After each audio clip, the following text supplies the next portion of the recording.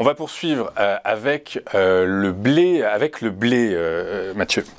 Oui, le blé meunier est sur un niveau clé, un, niveau majeur à moyen terme, 215, hein, 25. on le voit sur ce graphique, c'est un niveau qui avait contenu l'évolution des cours pendant de longues années, de 2014 à grosso modo 2021 et des poussières.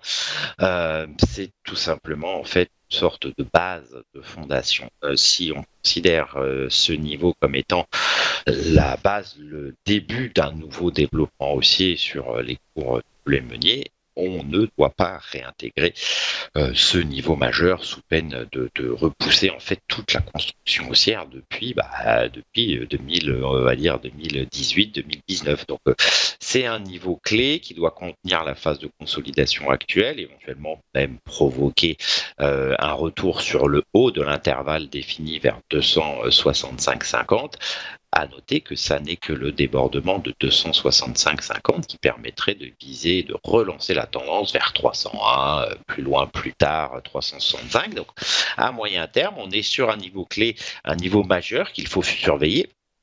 Et euh, si on commençait à rebondir depuis ce niveau, il faudrait surveiller 265,50 dont le débordement valide une reprise de la tendance haussière précédente. Ok, très clair. Et si on devait regarder vers le bas, on aurait quel support?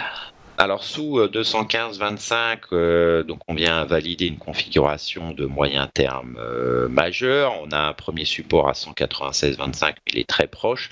Et après, on a une kyriade en fait de supports construits pendant toutes les années de 18, 19, 20, 21. Il y a 286-50, 275, on pourrait dire 265. J'en ai tous les tous les 5-10 euros.